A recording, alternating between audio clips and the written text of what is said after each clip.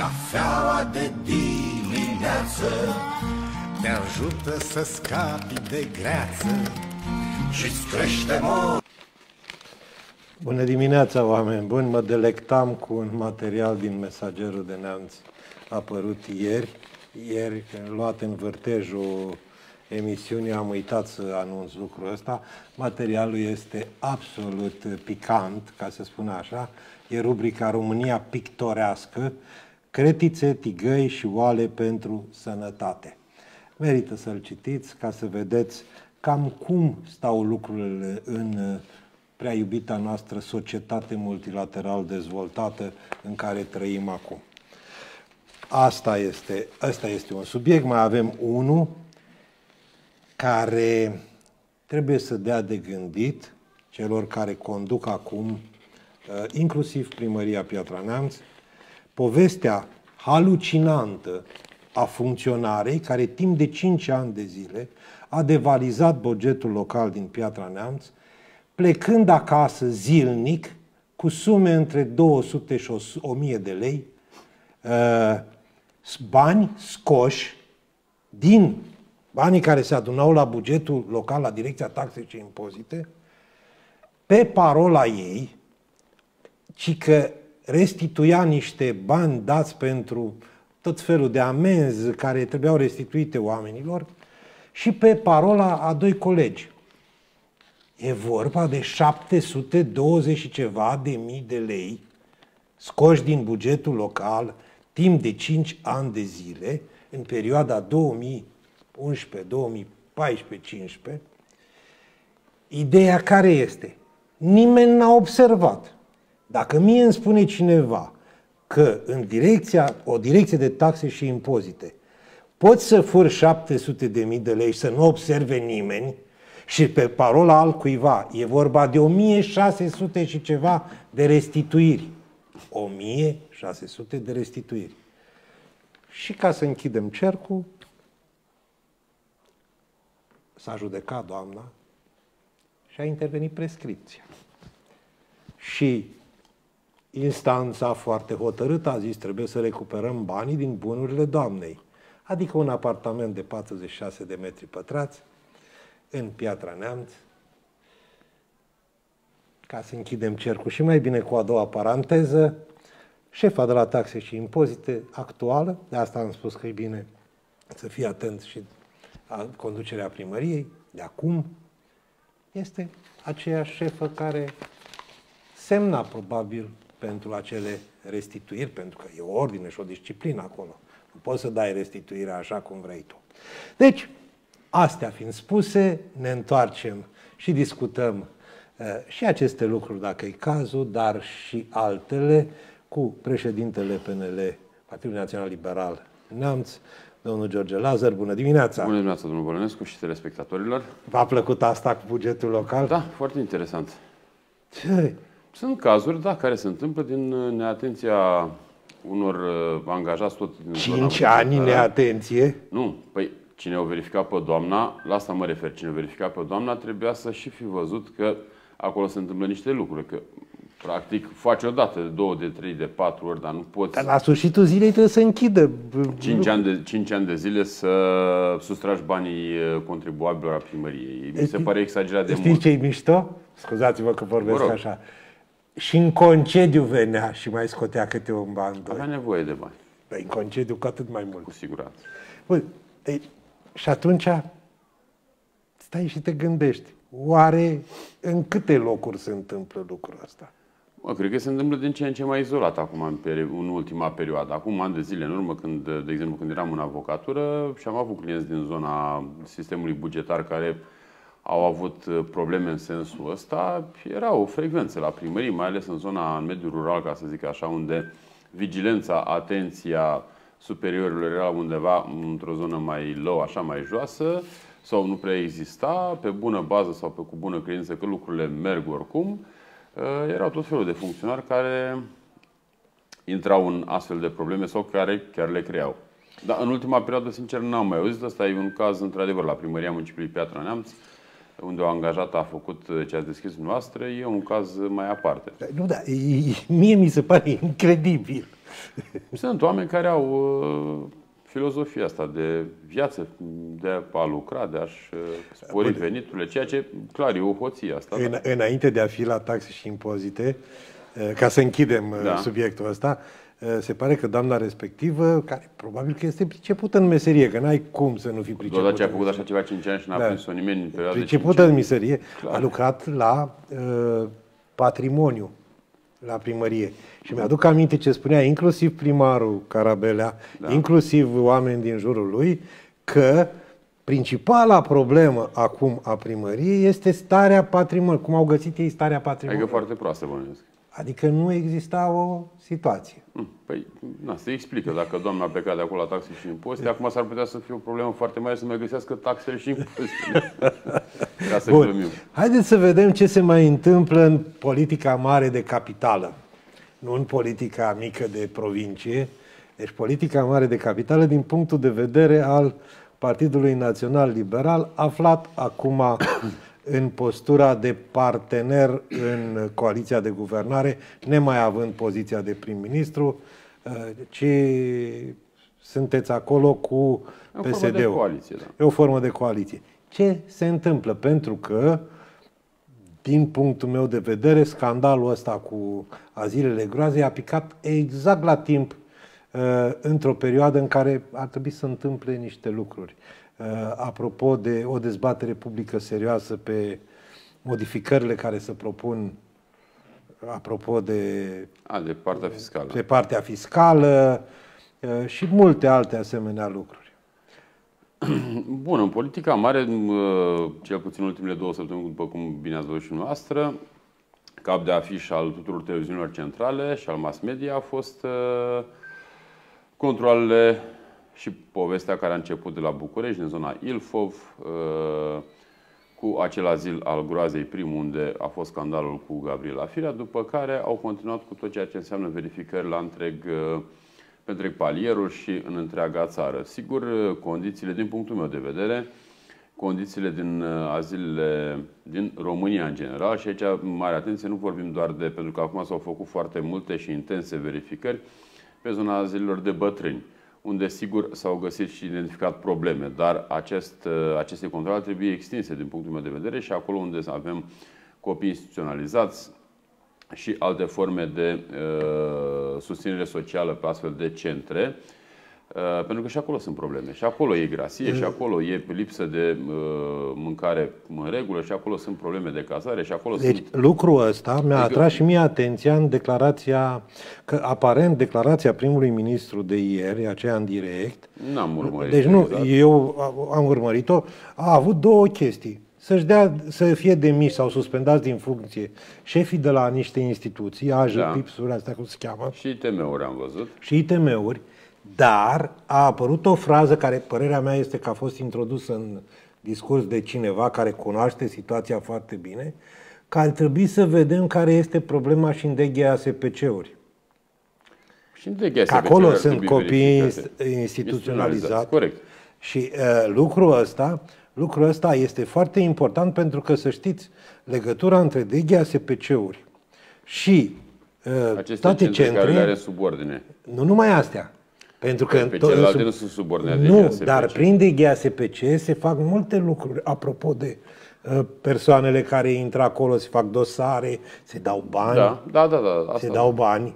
Și atunci trebuie urmărit cu atenție. Bun, acum, pe de al, uh, mergând mai departe, în mod clar este imposibil, uh, cel puțin tot ce am urmărit în materialele televiziunilor centrale, era imposibil ca soțul doamnei Firea Pandele, probabil împreună cu doamna Firea, să nu știe realitățile de acolo. Era imposibil. Acolo un uh, Poate vol... nu le știau uh, în totalitate, dar acolo, să nu știi acolo tu că... voluntar e un orășel destul de mic, nu foarte mare, nu e un oraș ca Piatra Neamț, în care, din ce știu și eu din zona respectivă, de la colegi, prieteni din zona Ilfov, acolo pandele controlează cu mână foarte sau cu mână de fier lucrurile, adică era imposibil să nu cunoască parte, dacă nu totalitatea realității, unul la mână și doi la mână, să te dezici de respectivul, respectiva persoană, cetățean la Godei, cred că îi spune. Godei, da. Că, domnule, stai că nu-l cunosc, stai că nu știu, stai că nu-mi dau seama. Când omul era după tine non-stop, îți fusese angajat, era cel care te poza, te filma Este la tot clar, a fost, a fost greșeala vieții doamnei Firea, care nu și-a dat seama că, spunând lucrurile astea, și-a terminat păi, mare parte din cariera politică. că minciuna are picioare scurte de obicei, sau așa exact. e o vorbă la noi în popor, era o minciună învelită în altă minciună și învelită în altă minciună, la un moment dat devine o minciună uriașă, iar atunci când se demantalează, apare adevărul crud, adevărul gol-golul și atunci asta în situația asta a fost doamna Firea. Mergând mai departe, sigur nu poți să-i uh, arunci întreaga vinovăție doamnei Firea, că după la urmă nu doamna Firea a avut acel centru direct în subordine ei sau nu a fost centru ei personal, dar faptul că, uh, repet, a mințit opinia publică sau a încercat să ascundă anumite părți de adevăr de acolo, au adus în situația care e. Problema pe fond nu o reprezintă Gabriela Firea sau Budăi care și-a demisia de la muncă. Problema pe fond o reprezintă uh, aceste centre, aceste azile de bătrâni, că despre ele vorbim în primă fază, în care fie că sunt private, fie că aparțin uh, structurilor statului prin DGASPC-uri la nivel de județ sau prin Direcția Asistență Socială la nivel de uh, municipii și calitatea serviciilor pe care acestea le prestează, fie privatul, fie statul.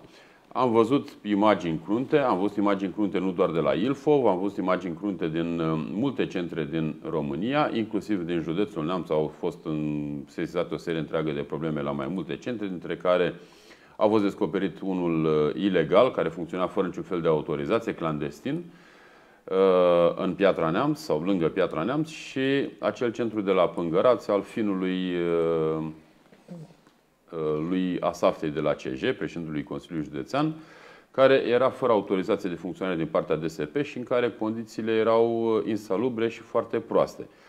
Mergând mai departe, problema de fond rămâne în primul rând la instituțiile de control care au activitate, care trebuie să aibă activitate de control pe zona asta. Și aici cred că decizia până la urmă a premierului de a interveni pe zona AșPIS-ului, Agenția Județeană de Inspecție și Prestație Socială, care are structură în fiecare județ, acolo cred că trebuiau rași cap-coadă toți. Păi nu, pentru că nu e normal, nu normal ca tu așpis care faci plățile, pentru că ei fac și inspecția și plățile, uh, după caz să nu fi știut despre ce este vorba acolo, când tu Se ai că ești fată mare. obligația da. să controlezi efectiv da. acolo și după caz să sezizezi și alte instituții. Așa este. Trebuie să iei, uh, în funcție de ceea ce găsești acolo, ai DSP, ai OPC, ai ITM, ai poliție, ai ISU, ai uh, uh, DSVSA. Deci ai mai multe instituții care pot veni acolo pe o zonă de control, una la mână, dar aș fi e principala instituție care trebuia să fi făcut controle. Sens în care cred că acolo e problema și la instituțiile de control, sigur și la mentalitatea patronilor sau a celor care administrează aceste centre, pentru că efectiv trebuie să fii un om meschin, un om cu suflet negru, un om fără frică de Dumnezeu, încât să îți ții acolo bătrânii, acolo peste ani de zile, acolo putem să ajungem și noi, părinții noștri, bunicii noștri, adică trebuie să îi tratăm cu respect și în limita decenței. Sigur, am văzut și intervenții, domnule, nu poți cu 2500 sau 3000 de lei pe lună să-i oferi nu știu ce condiții. Dar nu spune nimeni să-i oferi condiții de 5 stele de hotel nu, de 5 stele. dar uh, condiții decente, alte centre să nu-l care... pui la muncă, să nu-l uh, umilești, să, să nu-l bați jocorești. Exact, să nu-l bați, să nu-l înjuri, să-i să ai grijă să-i dea medicamente. Da, să nu-i dai sedative, să doarmă câte 15-16 ore pe zi și când se trezește să-l ceri, să-i dai pastile cu forță. Adică sunt mâncarea, ați văzut și dumneavoastră în ce hal arăta, bigrasie, mizerie peste tot, adică ale nu sunt condiții uh, să crești niciun animal. Apoi, până la urmă, să tratezi un om, Aici mai ales problema. într-o zonă în care e neajutorat și într-o zonă în care e la bătrânețe. Lucrurile astea profund m-au, m-au siderat și m-au uh, intrigat deopotrivă, pentru că nu mi se pare normal să avem astfel de cazuri uh, sociale Uite, în România scot... și astfel de oameni care să trateze la rândul lor pe concetățenii noștri cu atâta lipsă de respect și în așa bazjot. Scot și eu ceva din casă. Acum. Vă rog. Noi avem declarație de la o persoană care spune că un patron de centru, întâmplător cu probleme acum, da. Uh, avea acces la cardul și cheltuielile unuia dintre... A, curente, probabil pinul cu card cu tot, da. Da, dar se poate. El, el, dar eu spun așa, domne, stați un pic, accesul la un card se dă într-un anumite condiții. Nu și nu se dă condiționat. Adică, Sigur știi, vrea să stea la mine, dăm ca să am, să pot să fac lucrurile astea. Plus, când tu ai o funcție de conducere undeva și la mâna ta vin oameni care să interneze într-un centru și tu spui, domne, da, e ok, dar am eu ceva mai bun, nu vreți acolo? Este o problemă care de acum ține bun. de... Aici, domnul Bănescu, asta și chestii care țin de, și de mentalitatea patronului și, și administratorului de, de acolo, se duc în sfera penală cu siguranță, țin și de uh, mentalitatea, gradul de neajutorare uh, și de boală eventual pe care beneficiarul îl are. îl are în acel centru. Dar pe ansamblu e pe de o parte o vină a celor care țin astfel de centre în astfel de condiții și își bat efectiv joc de beneficiarii de acolo, pe de altă parte de instituțiile de control din România. Adică, știți cum e, ai un chioșc în piață, îți faci o mică afacere, un chioșc, un mic restaurant, un butic dacă vreți, cu o investiție, mică sau mai mare după posibilitățile fiecăruia și te trezești cu N controle de la ANAF, de la poliție, de la DSP, OPC, toate instituțiile vin și te controlează. Unul te ia, altul, unul te lasă, altul te ia. Și tu vin ce brice și carice, de exemplu. Exact. Așa și, și când e vorba de om, și când e vorba de om și de o instituție mare care face, ai 20, 30, 40 de beneficiari și unde se rulează niște sume importante de ordine la câteva miliarde de lei vechi pe lună, Acolo închizi ochii și nu știi mai ești pe acolo în control sau că duci în control, te faci că n-ai înțeles și n-ai văzut despre ce e vorba. Din punctul de vedere, cel puțin pe zona așpisului, decizia de a uh, schimba din funcție, a înlocui sau a trimite la cercetare disciplinară pe marea majoritate, am văzut a directorilor așpisuri din județele cu probleme mai deosebite, mi se pare foarte corectă. Cred că și la Neamț ar fi trebuit să se întâmple același lucru, pentru că nu e normal să existe un centru clandestin în Piatra, unul în Dumbrava, mai era unul... unul la o viluță de asta cumpărat, da, la o fostă da. pensiune, iar pe de altă parte să ai un centru, pentru că acolo eu cred că ar trebui și uh, zona de poliție, IPJ, nu știu, parchet să se sesizeze. Și o spun public treaba asta, pentru că nu mi se pare corect ca un anumit cetățean să-și facă un centru pentru care nu are niciun aviz, nu are documentație în regulă, el funcționează fără acte în regulă, deci nu ar fi trebuit să funcționeze cu toate astea funcționează și spune în stânga și în dreapta și spune, le-a spus celor care au fost la control la el, și sunt oameni care pot declara treaba asta, că, domnule, dar știți cine sunt? Știți unde ați venit? Oamenii nu știau. Nu știu, domnule, cine ești, matale? Păi eu sunt cu tare și sunt finul președintelui. Care președinte? Al domnului Asaftei. Păi oamenii nu i-a interesat, i-a durut în cod, ca să zic așa, și bine au făcut. Că nu i-a interesat cine e domnul Asafte și ce legătură de rudenie există, dar și aceeași persoană funcționează pe teritoriul județului Neamț, unde nașul președinte de CJ funcționează nelegal și își bate joc de oameni acolo. Pe de altă parte, este preluat de la un centru de bătrân de la stat, de data asta de la Roznov și transferat în DGASPC. DGASPC, instituție care este clar în subordinea președintelui Consiliului Județean. Prin transfer. Prin transfer. Știu că prin transfer, da. Prin transfer. Aici sunt niște lucruri care, din punctul meu de vedere, ar trebui Direct cercetate. șef de serviciu. Da, știu. Aici lucrurile astea, repet, ar trebui cercetate de Inspectoratul Județean de Poliție Neamț și respectiv parchet. Cum a funcționat el ilegal acolo? Cine a închis ochii ca să funcționeze? În timp ce el era director la un centru... La Roznov. La Roznov, da. Cine a închis ochii ca să poată funcționa acolo și cine nu și-a făcut treaba, unul la mână și doi la mână să cerceteze acel transfer, să vadă instituțiile statului dacă transferul este corect, este legal și cine a intervenit pentru că acel transfer se poate realiza. Pentru că, mare atenție, după lege, transferul trebuie să ți-l aprobe pe de o parte instituția de unde pleci. Știu că primarul de la Roznov, domnul Pavel, și a mulțumit Lui Dumnezeu, a făcut cruci și mătănii. A semnat a el. pomenice la biserică doar că a scăpat de el. Important e cine ți ia.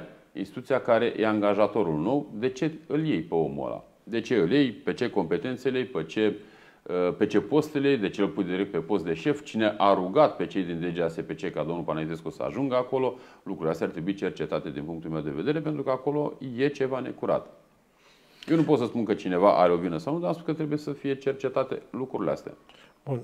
Tot sistemul de genul ăsta trebuie cercetat pentru că, eu mai spun ceva acum, lansez și o ipoteză. Dacă în centrele astea erau și uh, oameni care beneficiau de plăți prin DGASPC. E de cercetat și treaba asta, nu știu să vă spun. Deci, dacă beneficiau, pentru că există și această da, posibilitate. e o problemă mai mare. Atunci este o problemă și mai mare. Da, corect. Este o problemă și mai mare. Nu știu dacă beneficiau sau nu. nu, nu eu nu vorbesc mai de cazul ăsta. A, în general. În general. Pentru că este o problemă dacă acele dosare nu puteau fi rezolvate în interiorul sistemului. Plus, mai era un uh, centru de stat privat în uh, Piatra Neamț, cel clandestin, unde erau, înțeleg, să nu greșesc, ori șase, ori opt persoane într-o cameră. Într-o cameră, într-o cameră de 12, 14, 15, 16 metri pătrați, să ai 8 persoane, ori 6, ori 8 persoane. Adică, bă, bătaie Bun, dar aici, aici eu cred că trebuia acționat ca și la București, la Ilfov. Adică, bă, măcar 24 de ore chemat uh, și țin într-un spațiu echivalent. Da, nu știu aici ce au făcut autoritățile, știu că au depistat treaba asta, mai departe ce s-a întâmplat, nu știu din punct de vedere al cercetării sau a amenzilor sau ce măsuri s-au dispus. Da. Uh, oricum, scandalul este mare și părerea mea este că ar fi un moment acum ca instituțiile astea să fie curățate. Să fie curățate și puse să muncească. Cine nu vrea să muncească, să se ducă acasă, să lucreze în privat. Să ducă la centrele pe care le-a aprobat. Da, nu e o idee. Să ducă să lucreze la centrele în care a aprobat. Pentru că nu cred eu că ele puteau funcționa fără știința unora. Unii sau alții știau că ieșiseră cei de la, cred că de la Declică, am văzut în uh, București și aveau o pancardă cu un mesaj, toți știau. Și m-am chiar uitat la mesaj, nu înțelegeam prima de ce vreau să spună, cu toți știau. După aia am am înțeles văzând reportajul respectiv și aici nu știu dacă chiar toți știau, dar în linii mari mulți știau. Dacă nu știau da, toți, știau nu. foarte mulți. Haideți să luăm un centru așezat la Pângărați, da? Să spunem. Da. La Pângărați. Eu nu cred că într-o comunitate cum este Pângărațiu, când ocupi un fost local de striptis și faci acolo uh, centru, centru pentru văznici, nu vorbește lumea în sat. 100%. Nu cred că polițistul din sat nu a aflat că acolo este un cămin de văznici. Ba, nu cred că direcția de cum se cheamă, socială din primărie n-a aflat măcar la nivel de bârfă Că ba da, e 100%, cum să nu afle? E, în momentul ăla, când Bun. toată lumea a aflat, măcar poți să presupui, zice așa, domne, păi, hai vedem ce e acolo. Da, aș, zâul ăla, cum se Bun, cheamă. da, aș pisul trebuia obligatoriu. Obligatoriu trebuia să fie acolo. 100%. 100%. Dom'le, ei dat autorizație. Hai să vedem despre ce este vorba. 100%. Pentru că și la chestia asta cu dat autorizație, mă uitam zilele trecute, nu neapărat vreau să mă transform în avocatul la Lucăi Turcan, Uh, dar am văzut uh, o parte din... Uh, Acum să mă iertați. Are avocați mulți. Bănuiesc că are avocați buni și mulți. Nu e asta problema. și mă refer nu numai la avocați, avocați. Știu, înțeleg ce vreți să spuneți. Uh, nu, dar acolo eu am văzut o chestie băgată așa ultra forțat de către niște comunicatori de la PSD, care nu i-am înțeles. Uh, aici mai e o chestie. Raluca a semnat, la momentul respectiv era ministrul muncii, a semnat, semnez acolo maldere de acte, a semnat pentru, pentru înființare, da? da? Autorizația de înființare. Bun, acum dacă cineva vine în biroul ăsta unde suntem noi împreună și aici să zicem, domnule, se face un restaurant. Ok, vine, se uită, totul e ok, totul e conform. Îți, îți, dă, îți dă actele, dom- avizul, domnule, poți să deschizi. Dacă peste jumătate de an sau un an nu mai vine nimeni în control, aici n-ai de unde să știi că pe aici nu se vinde mâncare stricată, că nu e grasie, că nu e mucegai, că nu e mizerie, că între timp nu s-a transformat din restaurant în club de striptease, cum ați dumneavoastră, sau în altceva.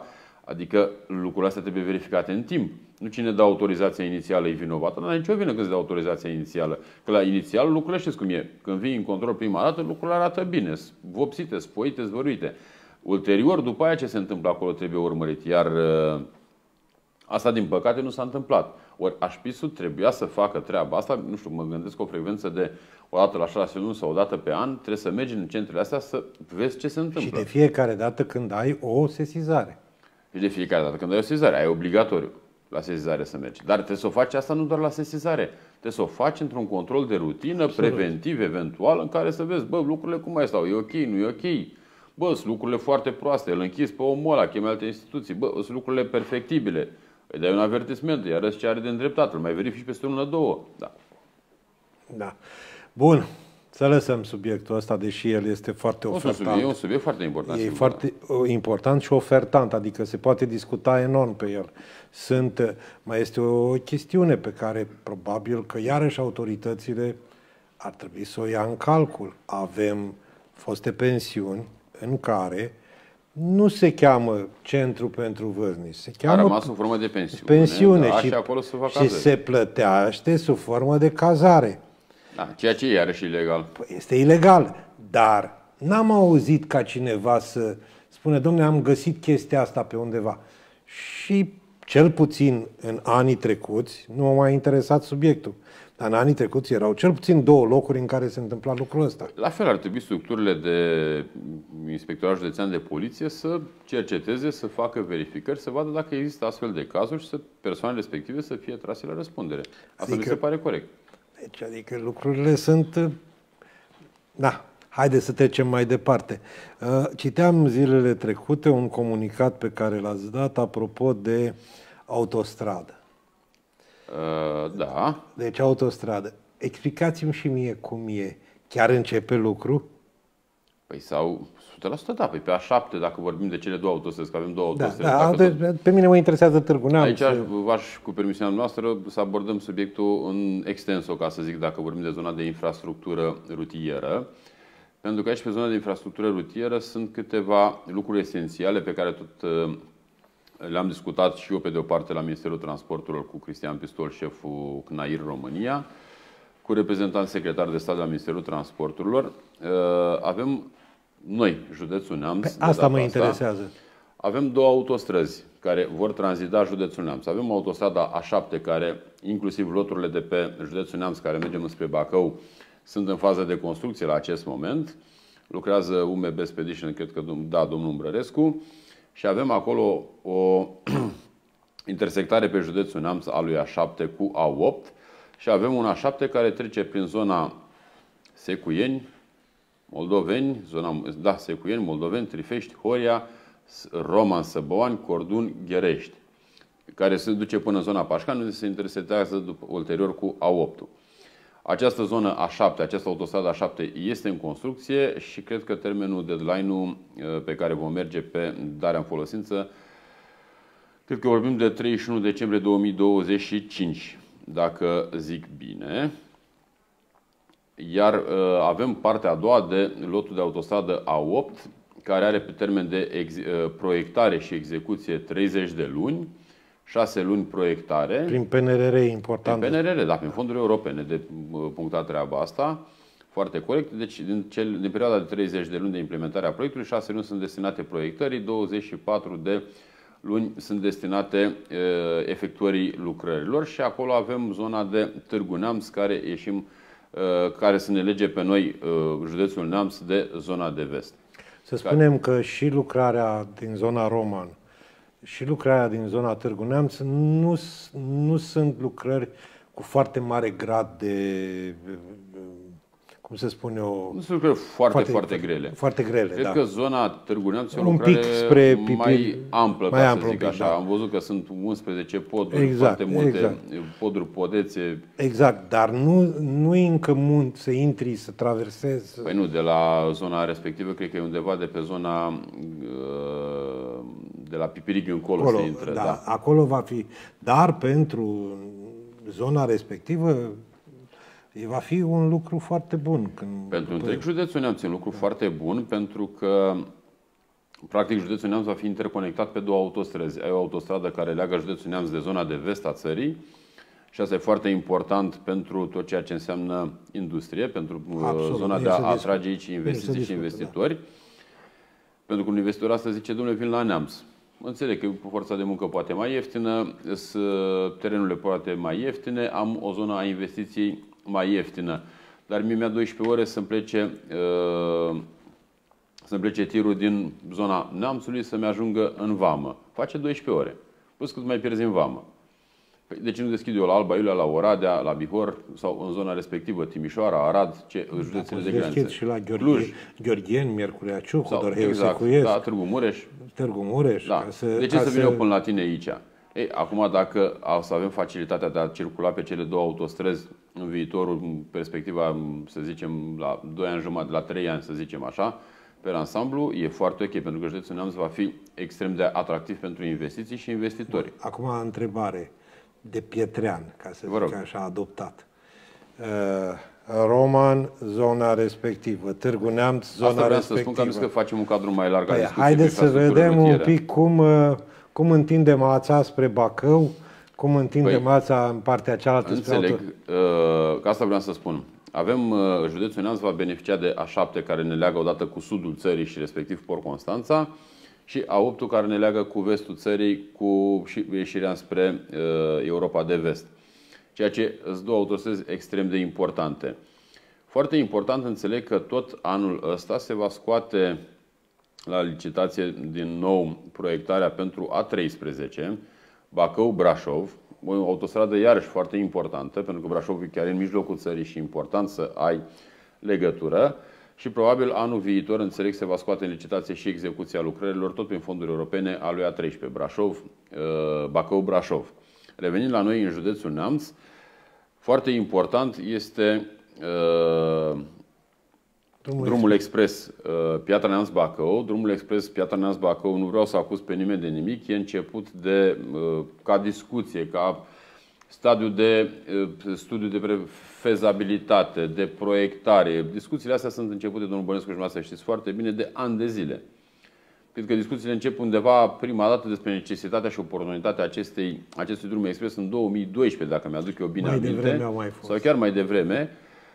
Așa și au continuat și continuă până astăzi. La momentul actual, nici astăzi nu este predat uh, PT-ul către uh, Ministerul Transporturilor, de către uh, cei care Spunea au făcut Spunea Andrei Carabelea zilele trecute că, domne, zice, ne-am dus noi la CNAIR. Păi da, a fost cu mine, Andrei. Da, deci, a fost împreună, ne-am nu dus, fost cu mine. Ne-am dus la CNAIR să vedem de noi suntem punctul terminus al Da, acelei... da. Bă, pe noi de ce nu ne întreabă nimeni nimic? Da.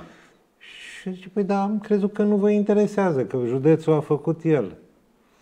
Deci, Păi județul nu și-a făcut treaba. Județ, județul Neamț, mă refer la CJ aici, nu și-a făcut treaba. Acum, că înainte a fost domnul Arsene, domnul Arsene nu știu cât a fost cu bune sau cu rele, la un moment dat știu că am avut discuții, chiar dacă eram Pe în subiectul contradicții ăsta, da. politice și administrative, instituțional, cred că de două sau de trei ori am avut discuții.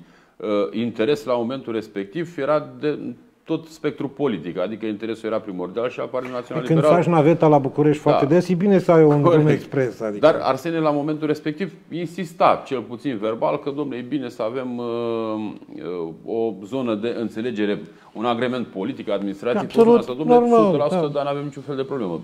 Ulterior, tot domnul Arsene și continuatorii lui de astăzi, mă refer administrativ, nu din alt punct de vedere, văd că nu au mai făcut absolut nimic. Zero. Uh, Iar ăsta este un, uh, un proiect vital pentru Piatra Neamț, pentru că Romanul este conectat la A7. Absolut, pe asta- de asta am Romanul spus. se conectează imediat de pe A7 la A8, imediat. Târgu Zona Neamțul Târgu este Neamțul se prinsă. conectează pe A8, adică e bine. Piatra Neamț rămâne principalul municipiu, municipiul reședință de județ de altfel din Rămâne uh, izolat. Neamț, rămâne într-o pungă, rămâne izolat. Am fost cu Andrei cu Carabelea, dar o să venim cu detalii, cred că m, maxim două săptămâni de la CNAIR, să vedem exact care e stadiul, uh, pentru că ne interesează foarte mult Piatra Neamț Bacău, drum expres, să-l avem scos cât mai repede în fază de licitație pentru atribuirea constructorului, pentru desemnarea constructorului și perioadei de execuție și a sumei financiare, pentru ca uh, cel puțin 2024-2028 ar trebui acest drum expres să-l avem făcut pentru a deschide oportunități pentru Piatra Neamț. Păi Foarte trebuie important. să, pornind de acolo, trebuie să știi pe unde îți merg centurile.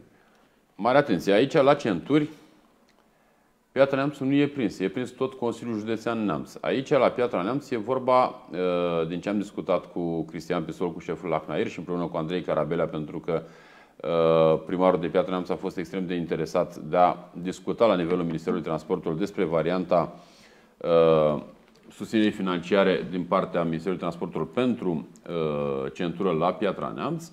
Aici s-au, uh, din, din discuțiile avute, s-au desprins ideea că vom avea pe de o parte uh, practic două, uh, două centuri de, care se, îmb- se unesc. Adică să ai o centură care îți pleacă de la Roznov, din zona Roznovului, ca să zic așa, care îți preia traficul greu și îți, devie, îți uh, iese de pe Piatra Neamț și a doua care îți vine de undeva de pe zona uh, Dobreni, dacă zic eu bine, cred că, da, cred că zic bine, care să scoată traficul greu înspre Bicaz. Adică ca să ai o, o, o, două centuri care practic devin una singură care să-ți devieze tot ce înseamnă trafic greu, atât îți preia de ce descarci de pe zona Romanului, ce descarci de pe zona Bacăului, ce descarci de pe zona Bicazului, ca să nu ai ambuteiaj în Piatra Neamț. Uh, și aceste proiecte sunt undeva la Ministerul Transporturilor. Din ce mi-a spus Cristian Pistol și Andrei, era cu mine domnul primar de Piatra Neamț, uh, interesul din, manifestat din partea CJ-ului că ei erau autoritatea care au discutat ani de zile la Ministerul Transportului, interesul era undeva înspre zero, iar cel puțin în ultima perioadă nu a trecut nimeni pe acolo nici măcar să întrebe, domnule, să mai face vreo centură, să aude ceva, măcar un desen pe o hartă. Știți că înainte aveam un președinte care avea desene multe, machete, puneam, frumos, da, colorat. Totul, da. Realitatea era alta, asta e alt discurs. Erau pietre, vindea făcea o butaforie domnul Arsene, asta cu totul și cu totul da, altceva. Nu mai contează. Ne vindea mărgele și ne spunea că sunt diamante. Dar dezinteresul astăzi din partea autorităților județene uh, de la Consiliul Județean este cras. Este ceva ce n-am văzut. Iar Piatra Neamț este municipiul care, uh, așa cum a spus și dumneavoastră, nu se interconectează cu nicio autostradă, iar această centură ocolitoare plus drumul expres sunt două obiective de infrastructură rutieră majore pentru, cel puțin pentru mandatul 2024-2028, atât al lui Andrei Carabelea cât și al nostru al Partidului Național Liberal. Sunt două obiective strategice pentru Piatra Neamț, ar spune, care obligatoriu trebuie implementate, e obligatoriu trebuie găsită sursa financiară, resursa financiară și scoase la licitație pentru a le avea la sfârșitul cel târziu al 2027-2028 să le avem uh, utilizabile. Pentru că altfel Piatra Neamț un oraș foarte frumos, Perla Moldovei, așa cum era cunoscut și așa cum spuneau oamenii din Piatra și bătrânii în general, era Perla Moldovei la un moment dat, Piatra Neamț, noastră mă puteți corecta dacă greșesc, dar cred că zic bine. Era un oraș și este în continuare Piatra Neamț un oraș care, din punct de vedere geografic al frumuseții, se bate oricând cu Brașovul. Bineînțeles, respectă niște proporții, proporții și niște dimensiuni. Dar un oraș extraordinar de frumos, ca să îl izolezi de la tot ce înseamnă zonă de business, zonă economică, potențial Aici turistic. Problemă. Aici e problemă. Să îl izolezi, nu poți să ai pretenția după aia să ai aici o economie floritoare în Piatra Neamț. Domnul Lazar, izolarea nu se face numai pe parte de infrastructură. E deci Piatra, Neamțu, Piatra Neamțu este încet, încet izolat din punct de vedere al serviciilor medicale.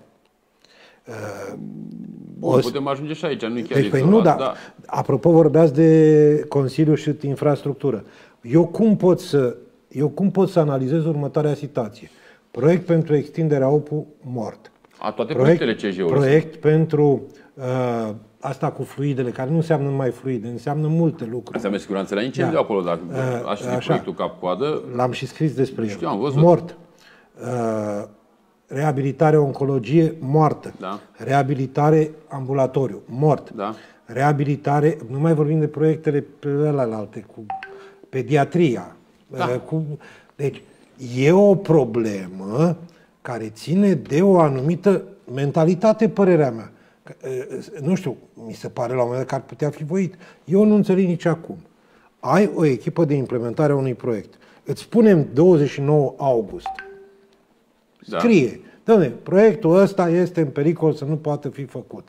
Dacă vrem să fie făcut, există pericolul ca noi să trebuiască să punem 2 milioane de euro în plus, ca, nu era 2 milioane, mai puțin, dar da, mai puțin. ca să-l putem face. Asta ți-o spune pe 29 august. Da? Pe 7 octombrie te duci și semnezi proiectul. Păi, dacă l-ai semnat, înseamnă că, că ți-l asumi. Ți-l asumi și tu și cei care l-au votat. Corect. Și atunci, cum poți să vii tu să-mi spui mie că îl retragi după ce tu ți l-ai asumat? Domnul Bănescu, lucrurile astea care țin pe de o parte de că începusem discuția de la infrastructură și avem drume expres și centrul ocolitoare a Pietrei Neamț, dezinteres total din partea cj și mi-asum ceea ce spun. Uh, lipsă de infrastructură medicală la uh, standarde moderne. Pierderea cred că șase proiecte, dacă, am, uh, dacă rețin eu bine, în valoare de milioane de euro. Toate aceste proiecte care erau destinate îmbunătățirii standardelor la Spitalul Județean, pierdute sau abandonate. Proiecte pe bani europeni. Pierdute sau abandonate. Asta e problema. Banii nu au mai ajuns la spital. Ca să înțeleagă Să fie foarte clar. Aia sunt bani care s-au pierdut. Un proiect megalomanic al, al uh, Spitalului Județean Neamț de 650 de milioane de euro. A picat. Care, nu că a picat, știa toată lumea A fost că pică, ajustat. A fost ajustat la 200 de milioane de euro, să fie undeva, cred că în zona lui, cu tot cu por, uh, cred că se duce undeva la vreo spre 300 de milioane de euro. Că mai sunt, Cu dotări. Exact. Dar acolo, mare atenție, proiectul la mare nu s-a modificat în sensul că s-a readaptat Nu, la nu, un nu. proiect. Au zis, E- pă, hai să tăiem Efectiv, un pic. s-a tăiat Da, cu da. foarfe ca, domnule, ăsta e proiectul mare, da. Tai, ce tăiem acolo? Taie, mă, tai, chirurgie, asta, da, chirurgie, cred că au tăiat. Da, au tăiat mă rog, niște- n-are importanță. Taie, domnule, ăsta e spitalul, gata. Adică, bă, noaptea minții, o în bătaie de joc, trei Bun, la mână. Primesc un mesaj Vă acum. rog. Spital nou, cineva care știe lucrurile. Vă rog. În POM, ultimul banc e că se semnează contractul în august și spune banc, da. banc negru. Un banc, da. Umor englezesc. Poate informează cineva și pe cei din Neamț și pe ministrul de resort despre lucrul ăsta. Pentru că, într-adevăr, se pare că Vă rog. se pare că fondurile sunt deja acoperite pe alte proiecte care sunt în derulare. Nu, eu știu că banii vor veni. Dar am, înț- am auzit și eu la nivelul Ministerului Sănătății că CJ Neamț se mișcă foarte greu. Da, păi, Dar noi ne-am obișnuit, domnul Bălnescu, aici, pentru că proiecte de infrastructură, alea importante, vitale, nu că face CJ un drum uh, 3 km la Boghicea sau la Oniceni, nu știu unde, și îl ia de la primarul ăla de acolo, îl face el 2-3 km și bă, ce realizare a făcut CJ, a făcut 2 km sau 7 și când îi adună la sfârșit de an sau de mandat, se domnule, noi am făcut- cărcănează Facebook-ul. noi am făcut atâta amar de drumuri, domnule, am reabilitat, am făcut, am modernizat. Domnule, nu spun că nu s-au mai modernizat și drumul prin an. S-au mai modernizat, păcat ar fi Asta să e- zic. Asta e păcat să nu Dar spun. proiectele mari de infrastructură, Spitalul Județean, e obligatoriu. Drum expres Piatra Neamț, Bacău și centrul ocolitoare sunt obligatorii. Proiectul mare pe Poim, de la nu n-a mai vorbit nimeni, ăla mi se pare Cum să extraordinar de grav. Acolo oamenii ăia ar trebui să răspundă azi, din punct de vedere penal, oamenii ăia, poate exagerez în ceea ce zic, trebuiau arestați. Pă, una e când îl prinzi pe unul că face o prostie, că fură, că drege, ok, o sumă mai mică, mai mare. Dar tu când prejudiciezi Un județul județ. Neamț, un Un județ, județ. cu 42 de localități, de un proiect de 370 de milioane de euro, cu tot cu TVA. Bref, nu e doar 370, pentru că Ba da. ăsta a oprit, ascultați-mă un pic, a oprit alte proiecte Ah, de corect, dezvoltare corect, din corect, județ. corect, corect, și corect. suma se adaugă Da, celor corect. banilor de aici. Vorbim aici de o sumă infernală la nivel de județ. Da, vorbesc uh, corect, aveți dreptate 100%, dar vorbesc de uh, în primă fază de proiectul Da, da, inițial, da, da, da, 370 de milioane de euro, cu tot cu TVA, bani care trebuiau să intre în Neamț, 42 de localități, peste 160.000 de oameni, trebuiau să beneficieze de servicii de apă în 2023, să ai apă acasă și canalizare acasă în 2023, oamenii nu mai beneficiază. Ori acele UAT-uri, ori Consiliul Județean nu are de unde niciodată să aducă suma înapoi 300 de 300 și milioane. ceva de milioane de euro, nu- este imposibil, sau apa servul. Adică astea sunt proiecte pierdute, 6-7 proiecte la spital pe bani europeni de peste 20 de milioane de euro, cred că în total, pierdute. Bă, nu răspunde nimeni de treaba asta. Iese uh, X sau Y de pe la CJ, ba, și de la PSD până la urmă, orică e Harpa, orică e uh, Jana Safte de la CJ, bă, omul ăla nu înțelege ce e cu el acolo, omul ăla este singur al lui Bucurie, o spun de față cu toată lumea. E care o mașină, secretară și șofer. Asta e bucuria omului și că s-a invitat la două zile, Vede- vedeți la că două vă- zile de comună și acolo vine și spune două prostii pe acolo și cu asta basta. Bă, nu este rolul tău de președinte, mă, tată. Nu este rolul tău să fii președinte de CJ ca să duci la două zile de comună să ai un șofer și o secretară. Rolul tău e să dezvolți județul ăsta. Rolul tău e ca cei moștenit să duci la bun sfârșit ceea ce e bun, ceea ce nu să rectifici sau să vii cu investiții noi. Dacă să pierzi proiect de 370 de milioane de euro este halucinant. Adică oamenii ăia din, din uh, apa serv, nu știu dacă din CJ, dar din apa serv, ei ar trebui să răspundă penal. Dați-mi voie să vă mai spun ceva. Noi n-am închis proiectul acela pe e, gunoaie, pe deșeuri. Da, nu e închis nici Nu e ăla. închis ăla. Și, domne, e început, de, are aproape 10 ani. nu Adică este atât- închis. Atâta incompetență e greu de crezut, e greu de imaginat. Iar ace- tot acei oameni care pierd proiectele astea și prejudicează județul Neamț și pe nemțeni de a, aportul a sute de milioane de euro în județul Neamț și uh, calitatea vieții, da? Sunt cei care în continuare, prin emisiuni, mai văd, prin Facebook, prin tot felul de articole în ziare, vin și dau lecții și ne spun, domnule, că stai, domnule, că n-ați înțeles voi bine, că de fapt noi suntem deștepți și buni. Și de fapt, uite, ăia de la PNL sărăi, domnule, că ne atacă, domnule. Adică ei au pretenția de la noi, liberalii, să fim un fel de bruda săracă și proastă, eventual, de la țară, în, neapărat în coaliția asta, dar așa, în general, la neamț mă refer acum, că la neamț nu suntem nici într-o coaliție cu PSD-ul, ca să înțeleagă foarte clar și nici nu vom fi vreodată. Am văzut că este domnul Harpa și zice, domnule, că el vrea, că e băiat bun, că să facem. Nu facem, domnule, nimic acum. Nici cu domnul Harpa, nici cu PSD. Nu facem nimic. Noi ne vedem de drumul nostru în 2024 și vom câștiga alegerile, ei să-și vadă de drumul lor. Nu facem niciun Lucrurile sunt clare, nu se mai discută. Nu, da. nu mă interesează să mă aliez cu cine. Cu ăla care prejudicia județul Neamț cu incompetența? Nu. Nu fac treaba asta cu hoția, la masă nu stăm. Ori, ne dau lecții după aia și ne spun, bă, liberalii sărei că, uite, ne acuză, ne critică. Păi, ce să facem? Să ne facem că nu vedem că s-a drămat un pod pe la Lusca, să ne facem că nu vedem că să pierd 311 milioane de euro fără TVA, proiectul pe apă și canal, să nu mă fac că nu văd că prietenul foarte bun, foarte, foarte bun a domnului Harpa, domnul Angheluță, pe care îl cunosc și eu de altfel, a fost subprefect când eu eram prefect, eu un tip civilizat așa în felul lui. Colocvial, pot să spui. Da, da, da. Bă, te duci prima zi, prima săptămână la apa serv să-ți dublezi salariul, mă, mâncate Bă, nu, bă, nu e ok. Bă, și acum, după ce ți-ai dublat salariul în condițiile în care apa serv, dacă ar fost o companie performantă, bă, n-are nimeni nimic. Bă, într-o companie performantă și performanța managerului se plătește și foarte ok. Dar tu ai o companie, o prei falimentară, tot înspre faliment se va duce. Apa servu, îți dublezi salariul, Așa, și acum vii cu propunere 22,7% creștere la apă, nu știu dacă sunteți la curent, și 16,6%. S-a votat în câteva UAT-uri. Da, și 16,6% uh, creștere la servicii de canalizare. Adică, bă, oameni buni, unde trăim? Tu îți dublezi salariul și după aia majorezi prețul la populație. Și au pretenția de la noi să nu spunem lucrurile astea? Pierd proiect după proiect la Spitalul Județean, unde e sănătatea oamenilor și au pretenția de la noi să nu arătăm lucrurile astea care se întâmplă. Păi nu se poate. Întreb și eu ceva. Fac atribuția, vor să facă atribuția, nu știu dacă se la curent cu subiectul, de 23 de microbuze electrice. Sunt eu un ghid întreg cu niște condiții foarte clare stipulate în, mai, într-un ghid dat de Ministerul Învățământului, unde spune foarte clar care sunt, nu le iau acum pe toate că pierdem jumătate de oră, o oră, unde spune exact care e posibilitatea ca un UAT, un, o, o primărie, să, primea, să primească acel uh, microbuz electric. La nivelul județului Neamț înțeleg că suma alocată ajunge undeva pe la vreo 23 de microbuze. M-am uitat și eu în lista care a propus-o CJ-ul, care tipurile au consultat un specialist, o firmă de consultanță, care le-a făcut acolo, le-a analizat ghidul și după aia au introdus uh, primările în ghid. Păi, mă întreb și eu, 23 de primării, știți câte PSD și câte PNL? 23 sunt uh, PSD? 20 PSD, 3 PNL. Bă, 20 PSD, 3 PNL. Bă, să înțeleg și eu, m-am uitat, am zis, bă, hai să vedem cum ar fi lucrurile. Poate Acum de curiozitate, cele 3 PNL, să ghicesc eu care sunt sau nu? Le-am lista, vă dau. Da. da. Dar nu, că nu-i problemă.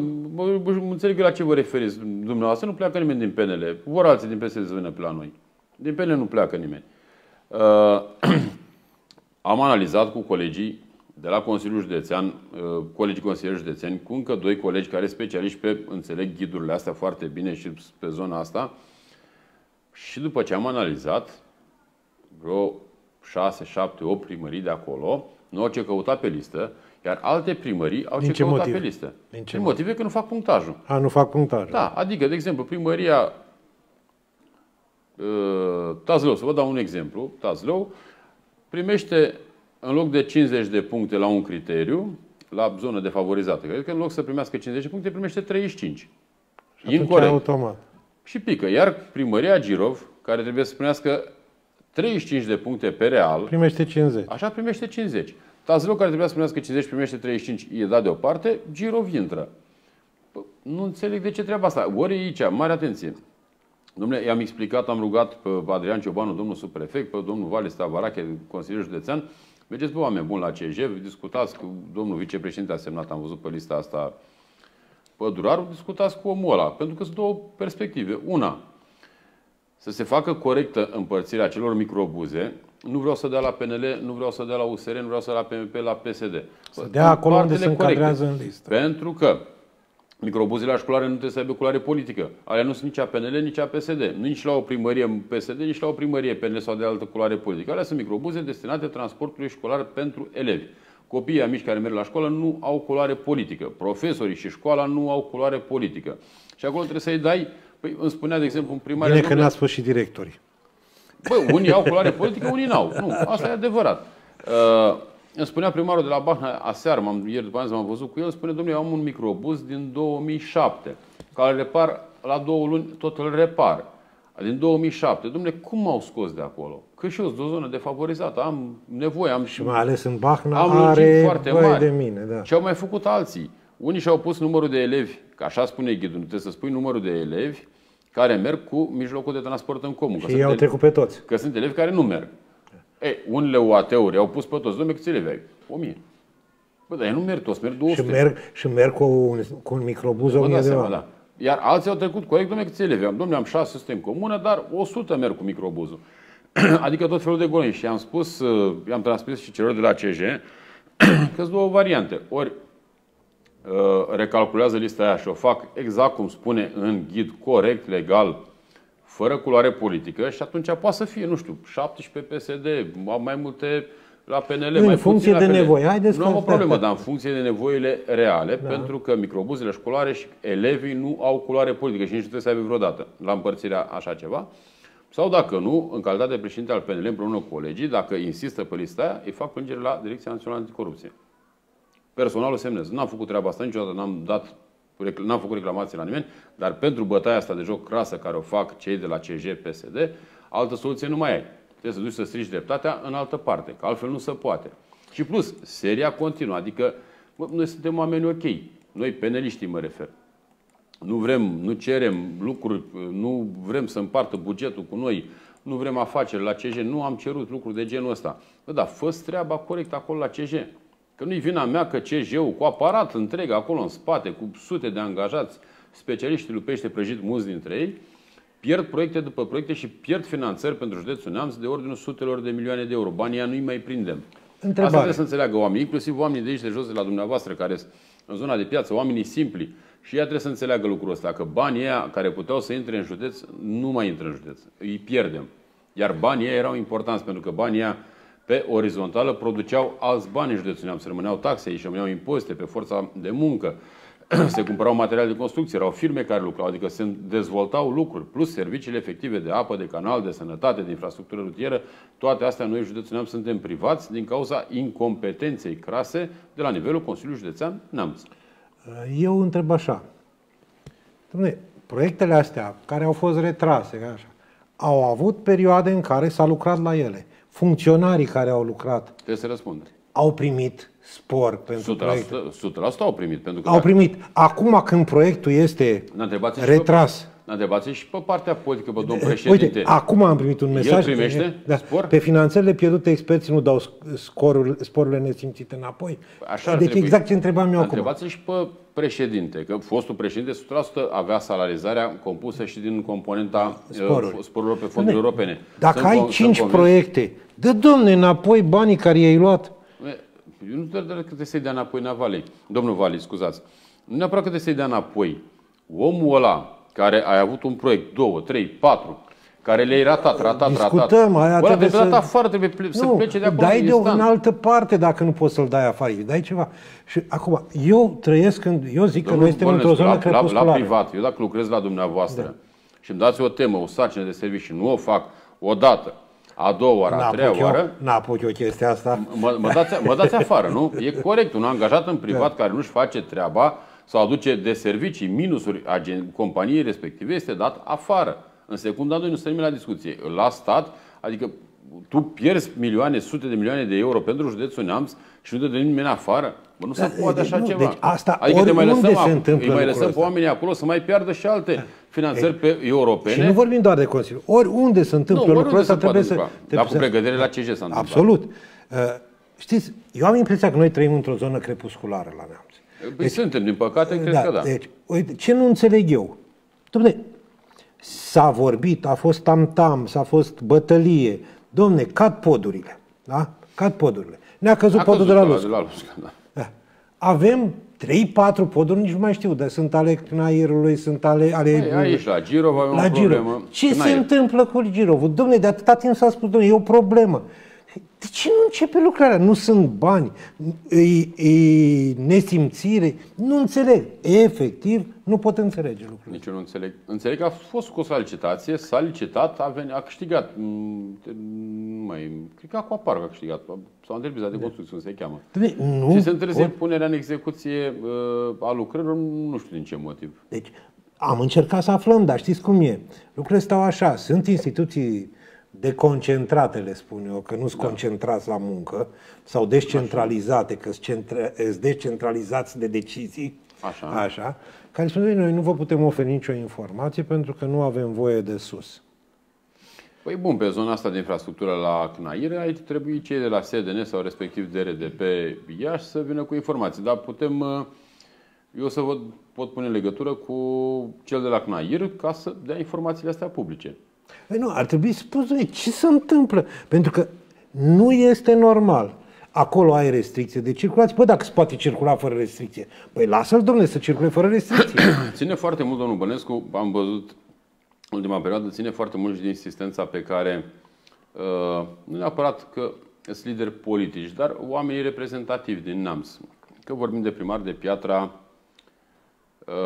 dar nu primarul de Piatra la nivel de Piatra Da, Neamț. da. Primarul de localitatea de respectivă. localitate, dar dacă președintele CJ, nu știu, președintele de la un partid sau două importante care sunt arcul de guvernare, dacă nu mergi la București, pă, corect, să faci lobby, să insiști, domnul ministru de la transportul, domnul președinte de la CNAIR, domnul ministru de nu știu unde. Haideți, domnule, Domnule, am trebuie și să o pe problemă listă. asta. Vă rog frumos, hai să o tratăm. Ne-a Chemați căzut un la ăla de la specialist. Lusca. Da. Vreți să mai avem un caz? Chemați un specialist, 2, 5, 10, eu devin și eu cu specialiștii mei. Domnule, hai să stăm de vorba, hai să vedem cum progresăm, cum dăm înainte cu lucrurile Dă-mă astea. pe mâna unui secretar de stat, Corect. dă-mă pe mâna... Specialiștii, Da, până la urmă, nu da, secretarul de stat, da. nu specialist. Sunt specialiști în fiecare minister care sunt acolo de 10, 15, 20 de ani, care ea chiar știu cu ce se mănâncă treaba și știu să rezolve lucruri, la modul pe bune și corect. Da, dacă nu faci insistența asta, dacă nu faci exercițiul ăsta de lobby la București, corect și legal, că nu vrea nimeni altceva, lucrurile se mișcă greu, pentru că sunt alte județe în care lucrurile se întâmplă, dar acolo președinții de Consiliu Județene, eu știu, parlamentarii, președinții de partide de acolo, merg la București săptămânal și insistă, domnule, vreau aia, vreau aia, vreau aia, vreau aia. E pe principiu copilul care nu plânge, nu Și primește. mai este ceva, domnul Lazar. În județele Asta e la alea noi în România, dar- se, se discută, se fac proiecte, se duc proiectele și se urmăresc.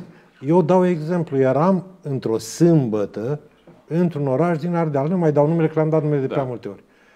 Și am intrat prin zona primăriei. Am întrebat acolo, "Dă, e cineva pe aici? Da. Oh, da, cine sunteți? Păi noi suntem, a, dumneavoastră sunteți ziarul din Neamț care a scris despre noi. Da. Zic, da, cine e? Păi sunt toți la proiecte. Și am urcat, bună ziua, sunt cu Tărescu, era sâmbătă, la ora 10. Da, ce fac? Domne, zice, uh, zice, da, foarte deschiși. Băieți, oameni Da, foarte... de în general, zice, că- deschiși. zice, domne, zice, știți, uh, s-a încheiat o axă din asta, nu mă pricep eu foarte bine, și că și-au rămas niște chestii necheltuite. Și de la București s-a spus că cine are proiecte viabile Trage- și în trage listă... din bani- din restul ce, a rămas. și ce am venit toți, ne pregătim că avem vreo patru și dacă câștigăm două la chestia asta, pentru noi e extraordinar. Și am zis, domne, câți, câți fac așa? Câți fac așa? Să bat pentru... Din, din, pă, din păcate, la nivel de CJ, neamțul este exclus să se întâmple așa ceva. Deci nu, nu pot să înțeleg. Bun, am depășit deja timpul, avem, uh, trebuie să Păi ne nu, dar mai... e bine că am purtat discuția asta pentru că, și mai ales în cadrul emisiunii noastre, când e o emisiune cu foarte mulți telespectatori, pentru ca să înțeleagă și unii uh, care fac politică, colegi sau adversari, deopotrivă care Da. se uită la emisiunea noastră, că și oamenii simpli, cum stăm la neamț, cam cum sunt lucrurile la neamț. Pentru că foarte multă lume mai ales din zona politică. Zic, și domnule, ăștia la liberali ăștia scam răi, domnule, că tot atacă. Domnule, nu atacăm. Dacă spui lucruri pe nume în țara asta, a ajuns să fie adevărul, să aibă grad că, domnule, de ce spui adevărul? Adică să fiu persecutat sau să fim persecutați? Nu, spunem lucrurilor pe nume. Că așa se cheamă lucrurile.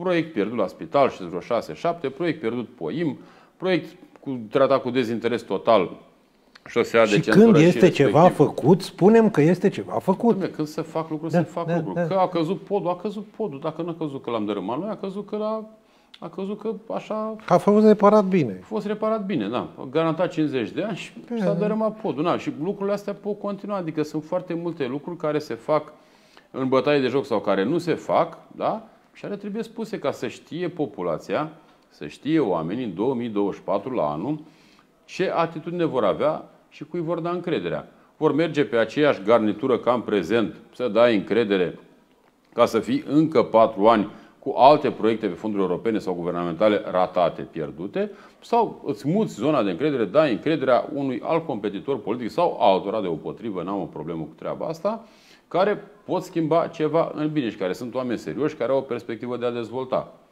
Despre asta e vorba, dar omul trebuie să știe să fie în cunoștință de cauză cui îi dă zona de încredere. În rest, repet ce am spus și în cadrul emisiunii, să nu se gândească colegii de la PSD că la Neamț nu avem nici cea mai mică intenție de a face vreun fel de alianță sau o discuție cu cei de la PSD. Să-și termine mandatele până în 2024 și după aia e treaba lor unde se duc. Acum, dacă vorbim de mandate, sunt și mandate mai lungi, dar nepuse în aplicare. Mandatele politice mă refeream. Așa. Ne oprim aici. Mulțumesc, Mulțumesc pentru și eu. participarea la emisiune și, oameni buni, continuăm seria emisiunilor de genul acesta, pentru că încet, încet apar niște informații la care nu ai acces oricum. Cum e informația aceea cu autobuzele, microbuzele Vă electrice. dau și lista, vă dau și ghidul. Cele bune, sănătate, să aveți un sfârșit de săptămână liniștit, atât cât se poate în România și cât se poate în zona crepusculară Neamț. Numai bine, bună! sănătate!